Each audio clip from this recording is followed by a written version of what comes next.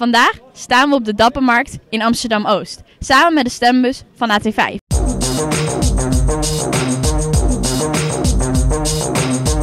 Hoe gaat het vandaag?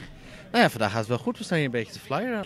Nou, helemaal top. En dit is precies wat we willen, een groener Amsterdam. Amsterdam heeft de meest vervuilde lucht van eh, Nederland en Europa. Kijk nou om je heen. Dit is toch wel heel erg smerig aan het worden. Ja, Dus dat kan natuurlijk niet.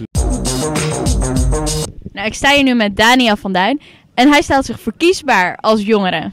Ja, ik ben 26 jaar. Ik denk dat het heel belangrijk is dat er meer jonge mensen in de politiek gaan. Heb je al gestemd een keer? Nee, nog nooit. Dan eh, kunnen we een keer samen stemmen als dat kan.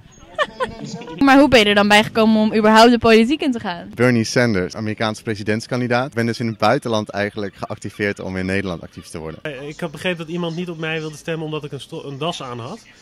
Maar Dus, dus nu is hij ook af. precies. De politiek klinkt heel erg saai. Dat is het soms ook echt wel. Maar het is ook heel belangrijk. Ik luister naar de burger. Het is heel belangrijk om je stem te laten horen. Dus wil je een lekkere kop koffie drinken met Daniel? Ga de politiek in.